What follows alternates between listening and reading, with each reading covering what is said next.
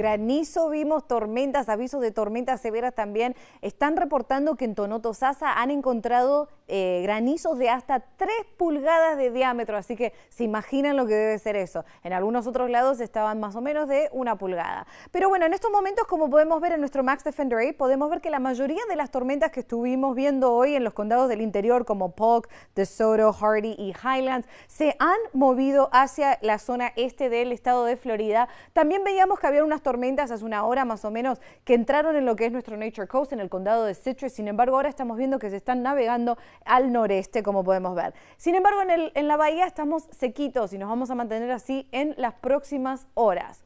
Esta noche, como podemos ver, estamos bastante nublados en lo que es la ciudad de Tampa. Las temperaturas se encuentran en los bajos 70 grados y el punto de rocío está en 67, lo que significa que estamos bastante, bastante húmedos.